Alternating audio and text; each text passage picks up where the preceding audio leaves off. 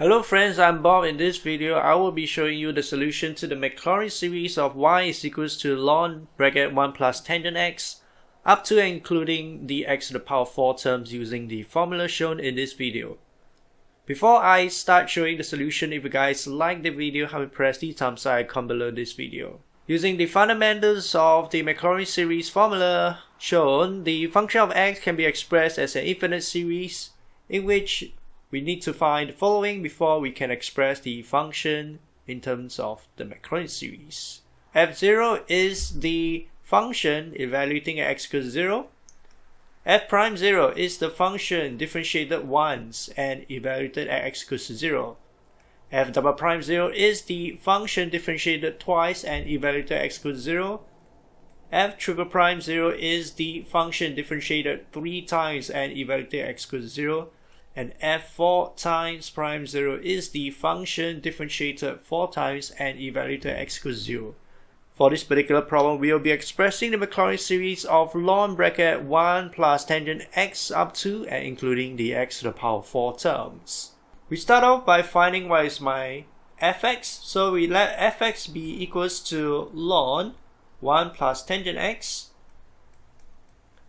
And if we were to differentiate the function one time, we get the following.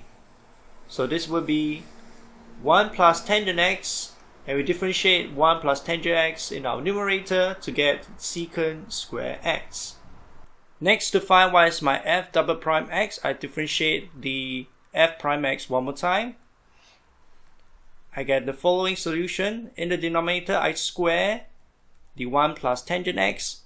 In the numerator, I have 1 plus tangent x and then I differentiate the secant square x, I get 2 times the secant x, secant x, tangent x, subtracting away, I keep the secant square x as it is, and I differentiate 1 plus tangent x, I get secant square x. In this particular case, we are applying the quotient rule of differentiation. We simplify the fraction and we get the following in the denominator, we just let it as it is. Whereas in the numerator, we can simplify to become 2 times the secant square x tangent x plus 2 times the secant square x tangent square x, subtracting away secant to the power 4x. And from here, I would factorize secant square x I get the following, which is 2 times the tangent x plus 2 tangent square x, subtracting away secant square x over 1 plus tangent x. So this is equals to the secant square x 2 times tangent x plus 2 times tangent square x Whereas for this one, I will apply the trigonometry identity that my tangent square x plus 1 is equal to secant square x over 1 plus tangent x square.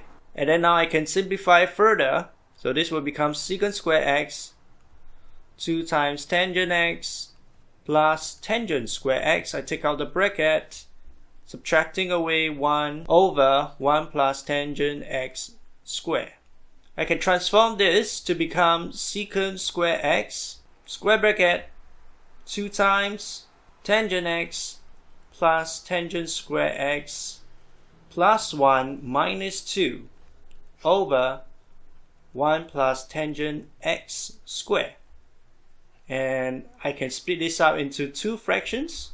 So the first fraction will be secant square x, bracket 2 times tangent x, plus tangent square x plus 1 over 1 plus tangent x square, subtracting away 2 secant square x over 1 plus tangent x square. This whole term is also equals to 1 plus tangent x, the holding square. So in the end, my f double prime x is just basically secant square x minus away 2 times the secant square x over 1 plus tangent x, the holding square. The next part we're going to find is f triple prime x by differentiating f double prime x one time. I get the following. My secant square x becomes 2 secant x secant x tangent x. Whereas for the second term I apply the quotient rule of differentiation. So I first square the denominator and then I bring up 1 plus tangent x square. I differentiate 2 secant square x, I get 2 times 2 secant x secant x tangent x. Subtracting away 2 secant square x as it is, I differentiate 1 plus tangent x square. It's just 2 times 1 plus tangent x differentiating 1 plus tangent x, I get secant square x.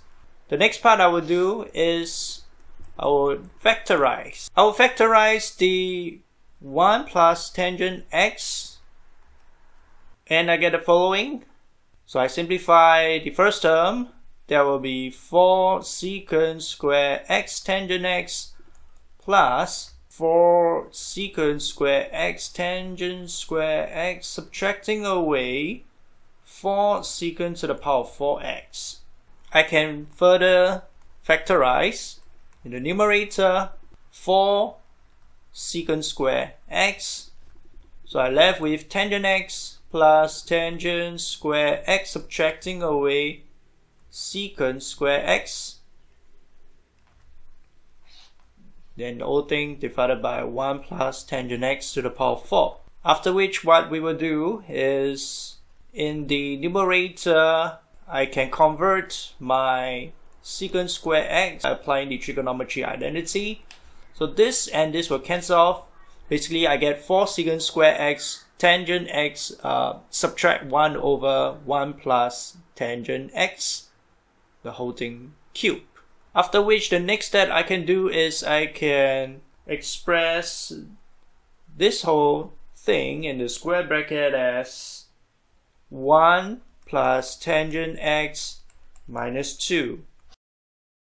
1 plus tangent x to the power of 3. Which now means that I can Split the fraction up into two fractions. The first will be 4 times secant square x, 1 plus tangent x, over 1 plus tangent x to the power 3, plus 8 times secant square x over 1 plus tangent x to the power 3. This and this can be cancelled off, and my f triple prime x is just 2 times of secant square x tangent x subtracting away 4 secant square x over 1 plus tangent x to the power of 2 plus 8 times secant square x over 1 plus tangent x cubed. After finding what is my f triple prime x, which is 2 secant square x tangent x subtracting away 4 secant square x over 1 plus tangent x the holding square plus 8 secant square x over 1 plus tangent x to the power of 3. I can now move on to find my f4 times prime x. So there will be a lot of differentiation involved. The first one will involve the product rule of differentiation. First, we will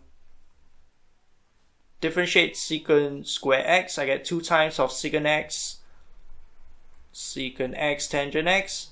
And then what I will do is I will keep the secant square x, I will differentiate tangent x, that will be secant square x. Moving on next, I will differentiate what is uh, f4 times prime x by applying the quotient rule of differentiation.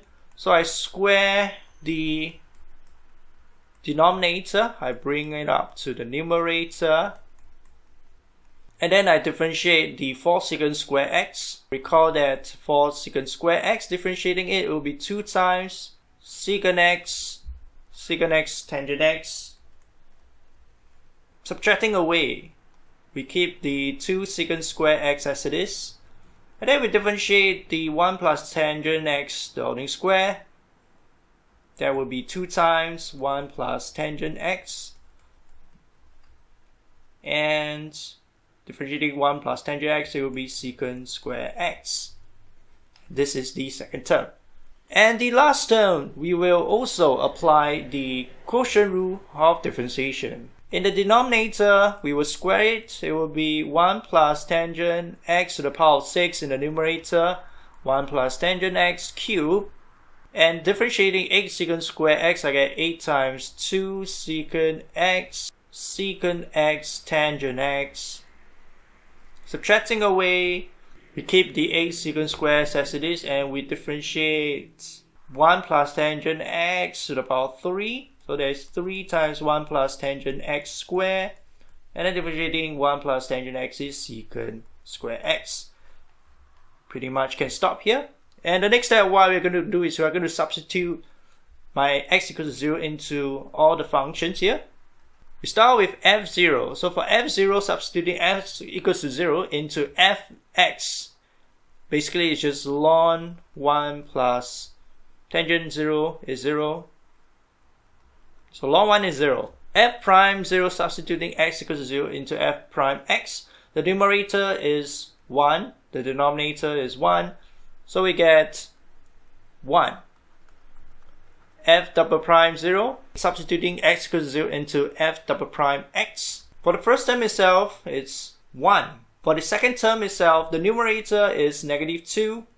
The denominator is 1. So 1 minus 2 is minus 1. How about f triple prime 0? The first term is 0 because of tangent x. The second term is negative 4 because the numerator is negative 4, the denominator is 1. The third term itself is positive 8, so we have 4. How about f4 times prime 0? Substituting x equals to 0 into f4 times prime x. So there are 6 terms. The first term gives us 0. The second term gives us 2. Then we move on to this part here. The third term here, this term gives us 0. For this term itself gives us 8. For the fifth term, this term gives us 0 because of tangent x. And for this particular term gives us 24. So we have here 2 plus 8 subtracting away 24 this gives us negative 14. So once I found my f0, f prime 0, f double prime 0, f triple prime 0, and f4 times prime 0, I can substitute it into the formula to express my Maclaurin series up to and including the x to the power 4 terms. I get the following. Ln 1 plus tangent x is approximately equals to my f0 is 0, my f prime 0 is x times 1 over 1, so there's x, my f double prime 0 is negative 1, so we have x squared negative 1 over 2 factorial. How about the x cubed term? It will be x cubed times 4 over 3 factorial. And last but not least, the x to the power 4 terms is negative 14 x to the power 4 divided by 4 factorial. So this is equals to x minus x squared over 2 plus 2x cubed over 3. Subtracting away 7x to the power 4 over 12. And this is the final answer to the Maclaurin series of y is equal to ln 1 plus tangent x up to and including the x to the power 4 terms, which is x minus x squared over 2 plus 2x cubed over 3 minus away 7x to the power 4 over 12.